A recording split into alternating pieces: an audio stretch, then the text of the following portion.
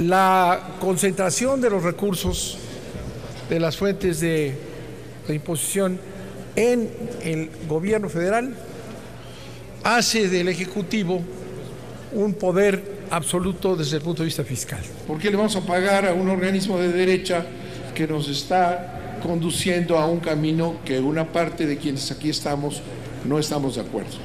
El sistema jurídico del país no puede estar en manos de 11 personas que no han sido electas popularmente y que no rinden cuentas a nadie.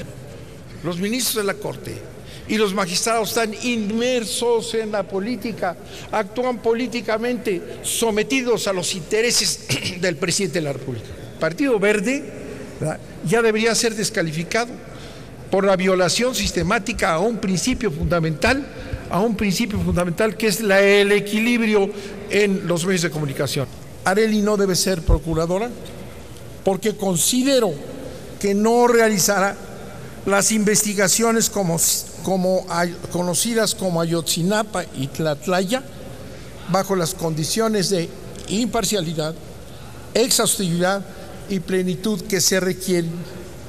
Los vínculos de Areli con el poder presidencial, con Televisa y con la derecha de este país lo impedirán. Medina Mora incumple los requisitos constitucionales para ser ministro de la Suprema Corte de Justicia de la Nación. El licenciado Medina Mora es un policía que ha participado en actos de represión contra mexicanos, Atenco, Oaxaca, Michoacanazo, las truchas, pasta de conchas, la detención arbitraria de las indígenas Jacinta, Teresa y Alberta. Y sin embargo, ahora con la entrada de los intereses extranjeros, vamos a multiplicar las penas, vamos a hacer todo un régimen especial. Por favor, y no nos vengan con la historia de que eso es para proteger el robo de los ductos. Es ridículo que se hagan esos engaños, es una vergüenza.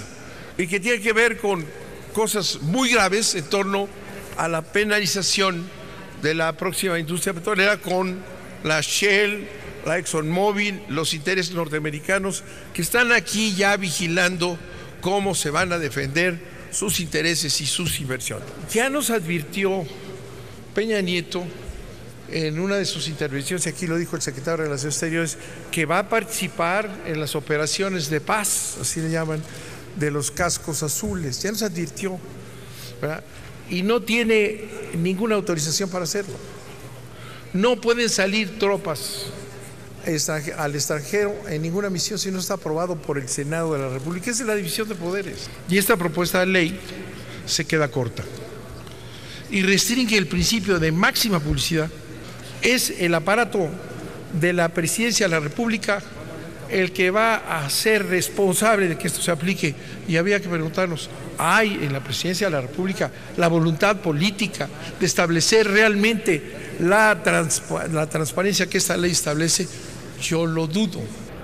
Frente a la enorme credibilidad de Aristegui, la credibilidad de la empresa y del gobierno son nulas.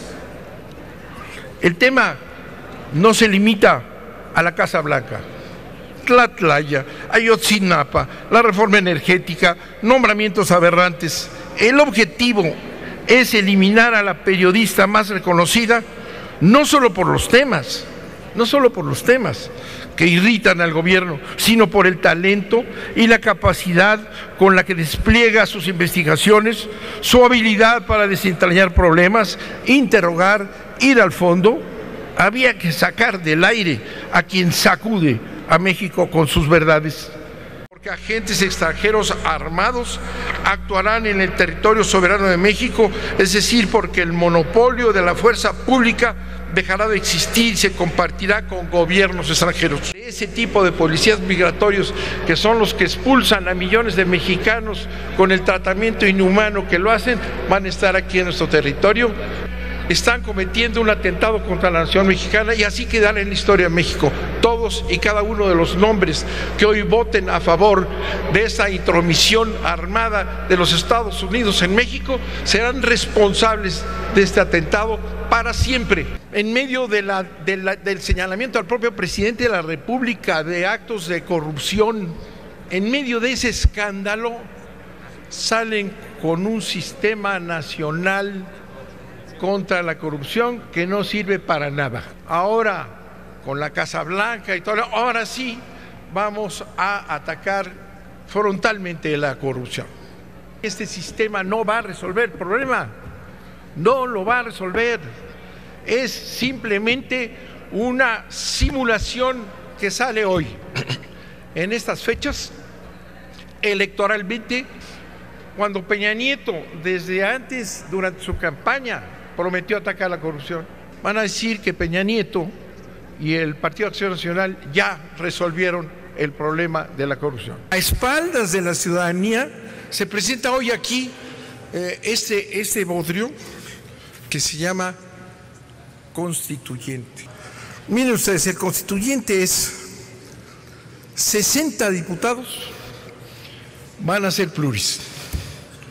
Luego 14 van a ser senadores de aquí. 14 senadores van a ser al mismo tiempo senadores y constituyentes en el DF. ¿Qué, qué facha es esa? Ah, pero faltaba más. ¿Y Peña Nieto qué? Seis constituyentes a Peña Nieto, bravo. Seis.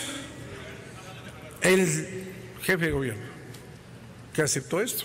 Seis. Esa es una derrota de los ciudadanos a quienes no se consulta. ¿Por qué una derrota de los ciudadanos? Porque ellos han expresado año tras año estos números y ahora los alteran sin consultarse. Entonces, ¿qué es lo que vamos a tener? Una entrada del PRI, una entrada del PRI a una posición en la que no está. Ustedes lo saben.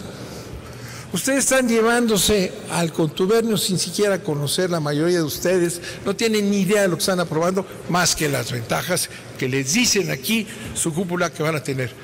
Van a perder, ¿eh? Peña Nieto no puede ganar nada.